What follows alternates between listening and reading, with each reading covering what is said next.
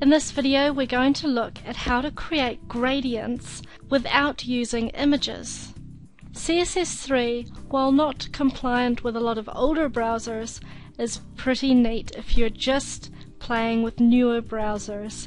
You can use a gradient generator, such as the one that you see on the screen right now, that will help you create the gradient that you're looking for.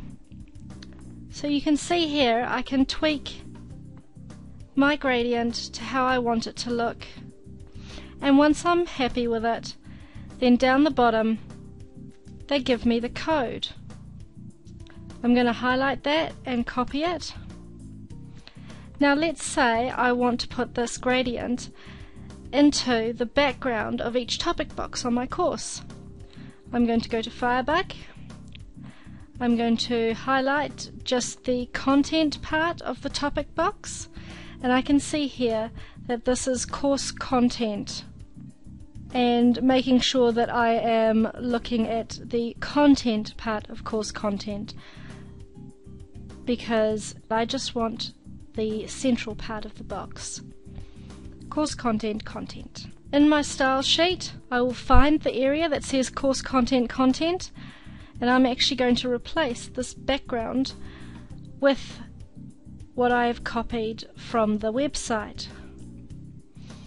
I can tidy it up a bit better later.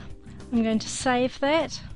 And now, because I am using a reasonably up-to-date browser, when I refresh, I can now see that that gradient has been applied to all my topic boxes.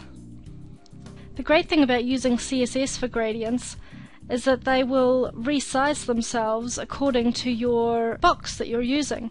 So you can see here, this one shows the full gradient, and this one does too, but it's stretched slightly because the topic box is taller.